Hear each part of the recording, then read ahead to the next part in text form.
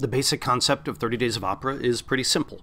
Every day in the month of September, Opera Memphis will perform somewhere in the city, in the tri state area. Somewhere we will put on a free performance. Sometimes that performance is for a dozen kids and a couple of librarians at a library in some neighborhood in Memphis. Sometimes it's for thousands of people at the Levitt Shell. Sometimes it's for everybody that we walk by trolley night or at the Cooper Young Festival or some other big outdoor event that we might have. Every performance is different. Every one of them is a different attempt to engage a different part of the city, a different part of the population, to reach as many people as we possibly can reach.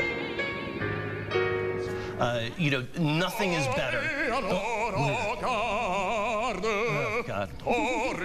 Much to our surprise and delight, we started noticing things on Twitter. And we realized that we were probably onto something. And we also realized that we probably could use social media to not only help spread the word about it, but to help track it.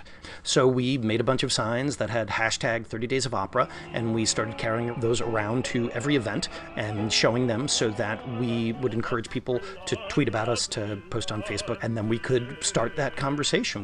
In year two, thanks to a very generous grant from Opera America and the Ann and Gordon Getty Foundation, we were able to really start getting the kind of data that we needed to build this roadway that would lead people to the Opera House.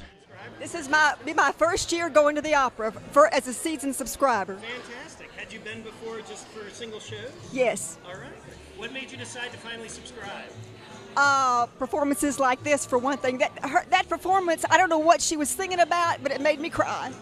I was at Levitt Shell working one night uh, last year sometime, and I happened to experience a show of uh, with Opera Memphis, something that I had never been exposed to in my life. Just listening to and watching them perform was really amazing to me. Uh, I, I, was just so um, amazed that I could hardly do my job as security supervisor. Also, since I've been exposed to opera, I, I've been taking piano lessons at Southwest Community College and, and just watching the, the pianists of Opera Memphis play the different tunes and notes has really inspired me to want to play the piano a lot more. And, and that's just something that if you've never been exposed to opera, you need to go.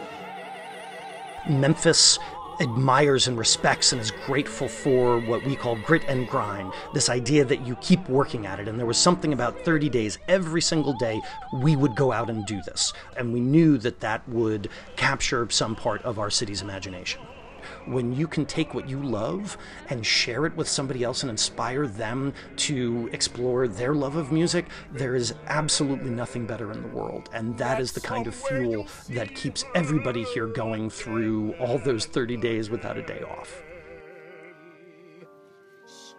Am so excited to not only be able to see it in person, but to realize you don't have superhuman strength. You look like normal, everyday people, but beautiful voices, and we just applaud you for doing what you're doing.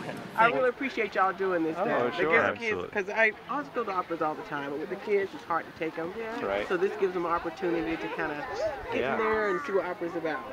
A lot of my favorite moments from 30 Days of Opera are seeing kids hear opera for the first time. There are thousands, thousands, thousands of who have had a seed planted. That seed might not bear fruit for five years, 10 years, 25 years. Maybe they'll go to college somewhere else, and while they're in college, some friend of theirs in the music school will say, Hey, come see me in an opera. And they'll remember that, oh, right, when I was at that library that time, there were those opera singers. I think we will know that we have succeeded when people stop talking about 30 Days of Opera as a way to bring the opera to the people.